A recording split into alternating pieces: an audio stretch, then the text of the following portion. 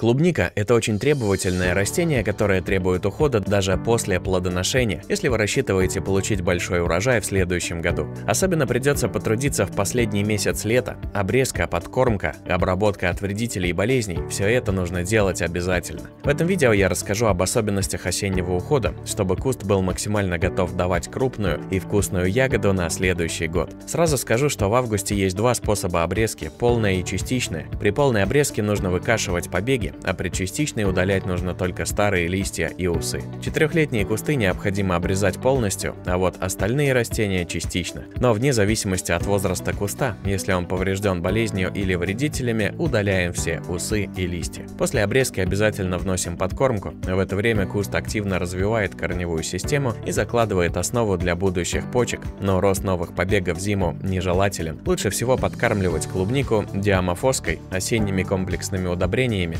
золой или суперфосфатом в комбинации с сульфатом калия. Также обязательно нужно делать обработку от фитофторы, мучнистой росы, пятнистости и серой гнили. Грибковые заболевания в любом случае есть в почве, вне зависимости от того, болели растения или нет. В августе вносим оксихом или другие медь содержащие препараты, медный купорос, бордосскую жидкость и так далее. Разводим по инструкции и обрабатываем наши кусты. Обязательно выполните все эти советы и урожай на следующий год очень приятно вас удивит крупной, сочной сочной и вкусной ягодой.